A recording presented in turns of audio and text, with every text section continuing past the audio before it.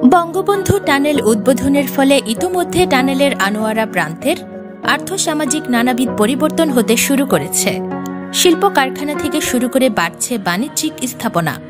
গড়ে উঠছে নতুন নতুন উন্নতমানের হোটেল মোটেল। গত আঠাশে অক্টোবর টানেল উদ্বোধনের আনোয়ারার অন্যতম পর্যটন কেন্দ্র পার্কি সমুদ্র সৈকতে পর্যটকের আনাগোনা বেড়েছে কয়েক গুণ। বিশেষ করে ছুটির দিনগুলোতে পর্যটকের মুখর হয়ে যায় দেশের দ্বিতীয় বৃহৎ এই সৈকতটি। টানেল হওয়ার কারণে পার্ক বিক্সে অনেক উন্নত হয়েছে, অনেক পর্যটক এখানে যাওয়া আসা করে। যেমন ধরেন সিবিক্স থেকে আমাদের ছাত্র সময় ট্যানেল শেষে কোনো বিক্স নাই, সেই কারণে আমাদের পার্কে মানে অনেক উন্নতর দিকে। এখানে অনেক পর্যটক এসে ঘুরে দেখে কীরকম। আসলে আমাদের পার্কের চর এটা অনেক উন্নত মানের একটি জায়গা। যেখানে সমুদ্র আছে সমুদ্রের ঢেউ আছে।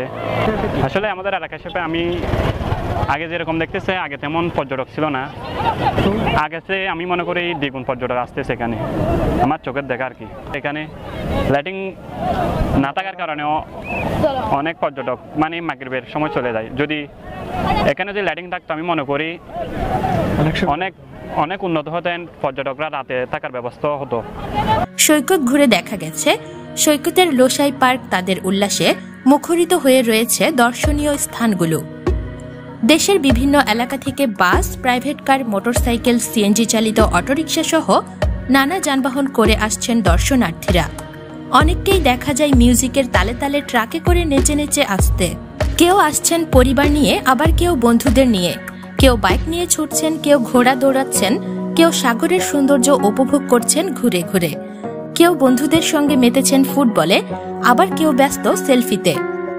পার্কে সৈকত জুড়ে এ দৃশ্যই এখন চোখে পড়ে। হ্যাঁ বিষয় নিয়ে বলার তো আছে, অনেক কিছু ট্যানেল হওয়ার পরে মনে করেন অনেক অনেক পর্যটক আসতেছে, বাহির থেকে যেগুলো চিবিস আসতে পারো এখন এখানে আসতেছে ঘুরতে। মানে গাড়িতে করে সবাই চলে আসতেছে মানে গাড়ি চেঞ্জ করতে হচ্ছে না সেটা নিয়ে। চট্টগ্রাম শহর থেকে দিনে এসে দিনে ফিরে যেতে পারায় পার্কটি দিন দিন জনপ্রিয় হয়ে উঠছে। বর্তমানে এটি আধুনিকায়নের সরকার, আটত্রিশ দশমিক দুই একর জমি অধিগ্রহণের উদ্যোগ নিয়েছে। প্রায় পঁয়ষট্টি কোটি টাকা ব্যয়ে নির্মিত হচ্ছে আধুনিক মানের পর্যটন কমপ্লেক্স।